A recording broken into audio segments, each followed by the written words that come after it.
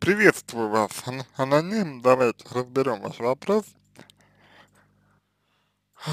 Начнем а, с того, что а, вас, безусловно, а, травмировало расставание с мужчиной. А, и, безусловно, на вас это достаточно сильно повлияло. А, первое противоречие конфликта, на который я хотел бы обратить ваше внимание, это то, что вы расстались, а, пока непонятно из-за чего, это очень важно, из-за чего вы расстались. Вы расстались со скандалом, пока непонятно из-за чего был скандал, но очевидно, что по той или иной причине кто-то из вас или вы оба а, сдерживали до определенного момента свои чувства, а, пытались а, как-то их зажать, пытались как-то их, может быть, перенаправить на что-то другое, вот, но этого не вышло.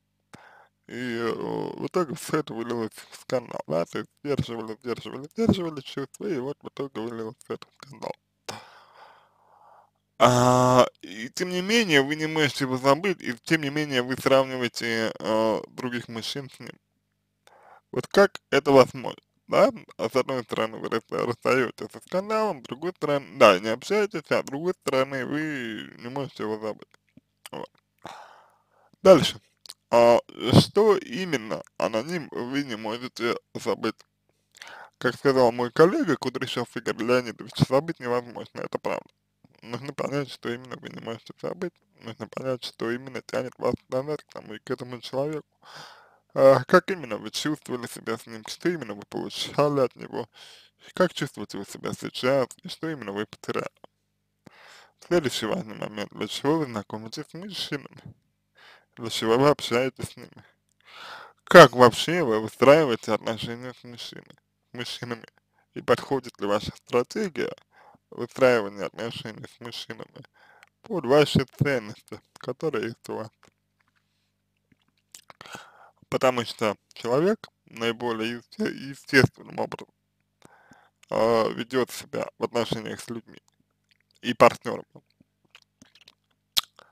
только тогда, когда его поведение максимально соответствует его ценностям, не наоборот, да? Это очень важно. А, вот, в принципе, то, что я могу вам сказать. Дальше.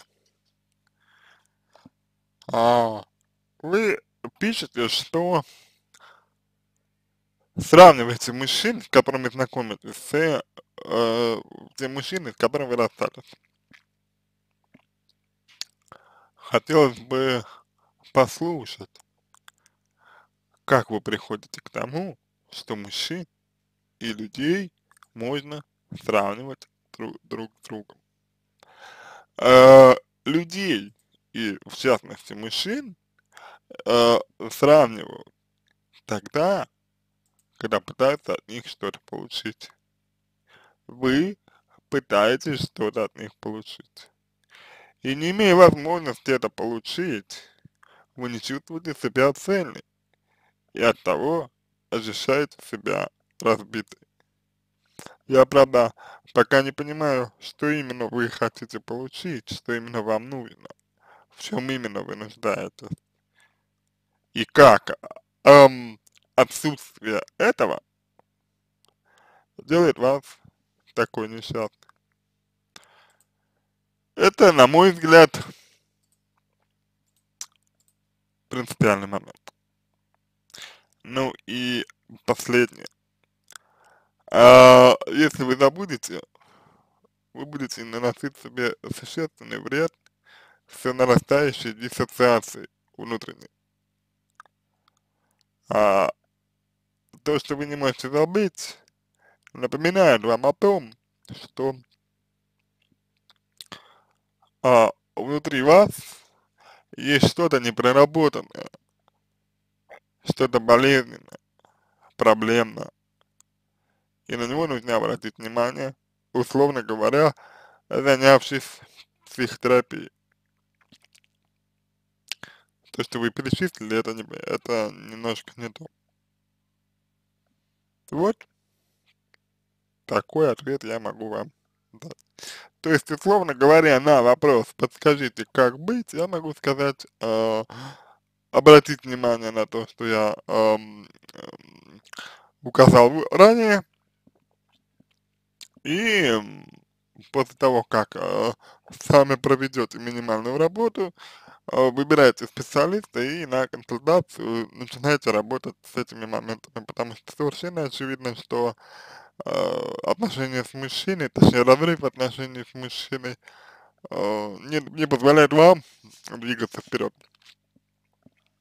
И в какой-то степени провоцирует вас на, эм, так сказать, обесценивание себя и, соответственно, потенциальных партнеров то тоже.